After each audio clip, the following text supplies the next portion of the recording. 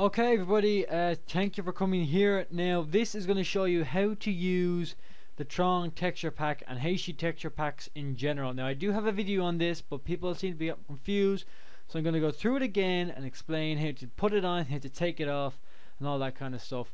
Now I've removed all the texture packs from the videos and you have to get them here. So first download the McPatcher which is the first link and then there's uh, the Tron Scotty is my uh, is first the main kind of Tron texture pack and that I'm using the 64 by 64 the one that people like so uh, that's called Tron Scotty so that's the one to download. So now I'm going to show you how to use it.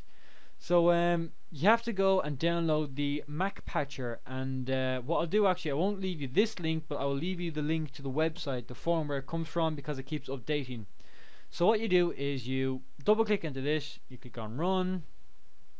Okay, it'll open the open the patching program. Now if these should already be set to your .jar file, but if they're not, what you have to do is go to the original, go browse, okay, um what you gotta do is you gotta find the minecraft.jar file. So what I'm gonna do is we're gonna go computer uh, users James app data uh, roaming dot minecraft bin and then you want to go to minecraft.jar okay? So you go uh, we do this one here and see what happens. So you do open it opens it up as you see there and it automatically does the output for you. And this is where people I think are getting it wrong. You don't touch this tile size because you can select like really high detail. You leave that alone. Uh, don't go near this. Click on texture pack this little box here go browse okay? And um, I have mine saved here into texture patches and it's Tron Tron Scotty okay? So I go open and I go uh, patch and it says all this kind of pixel by pixel crap. Ooh disappeared on me. Um, it'll patch it here. See mine kind of goes black for some reason. And um, it says at the bottom here hopefully that's done or so, something on that nature. So we'll turn that off and you can click on test Minecraft so uh, Minecraft will open up. As you see this splash screen has changed. And you can go into your single player I'll go into my world. And this is the Tron texture pack as you can see. So this is Minecraft beta 1.3 underscore 01 and it is working. Okay so it does work but sometimes what happens on certain maps it will crash. And I'm going to show you what happens when it does. And the only one that ever crashed on me was um, Jake's map 3 which is one he made for me. So if I go into this and um, what happens when I go in here maybe there's too much on the map or my computer's not good enough or something it crashes. So when I walk up this way or is it this way? I walk this way. I think I'm lost. I am yes it's this way. Right if you walk this way it will crash just at the corner up here and you'll see what happens? Now it crashes and you get that kind of error. It'll probably come up saying about your graphics card and just shut down now, every time I go to load that map now, what's going to happen is Minecraft is going to crash. Now, you can still load up Minecraft um, like this just simply by logging in. Or maybe you can't. Play offline. For some reason, the launcher is fucked. Now, load up, load up, load up. So you can still go in and you can still play the game as you see I'm going to go back into my other world and I still have the texture pack on but I cannot go back to that map. It'll keep on freezing. But let's say I don't know maybe it's with your computer or some reason I don't know this is quite a decent laptop and it works well on it.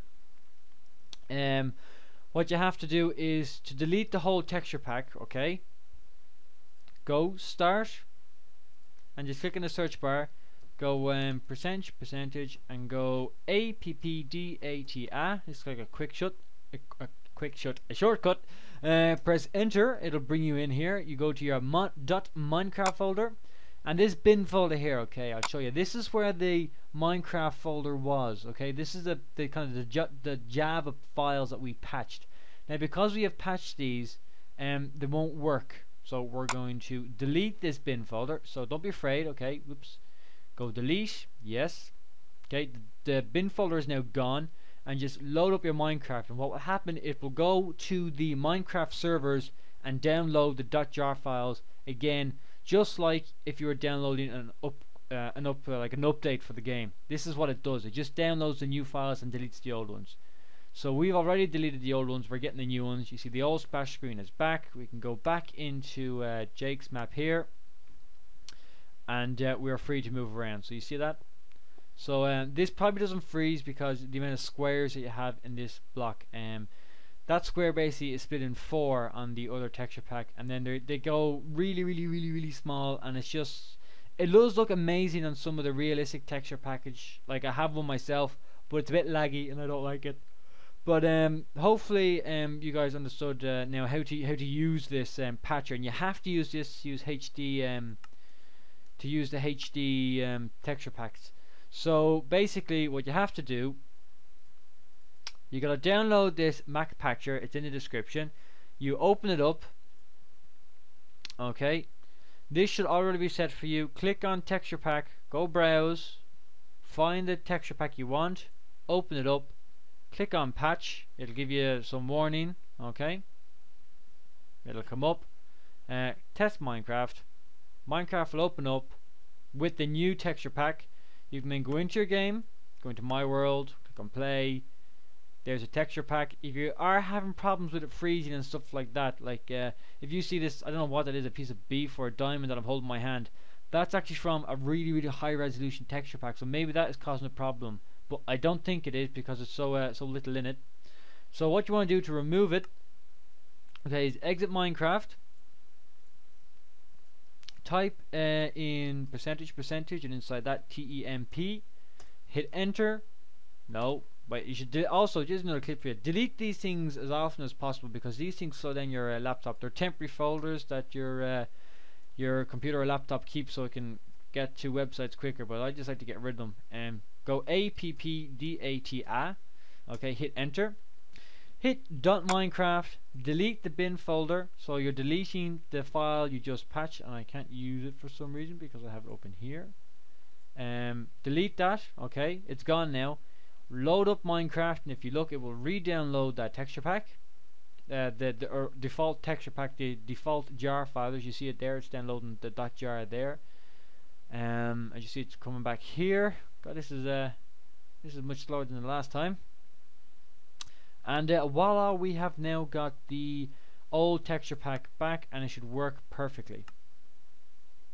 And it is as simple as that guys. So uh, thank you guys for watching this. I hope this will explain. If there's any problems with crashing um, I'm afraid I can't help you because I don't uh, it doesn't happen to me that often. That's the only map it happens to me on.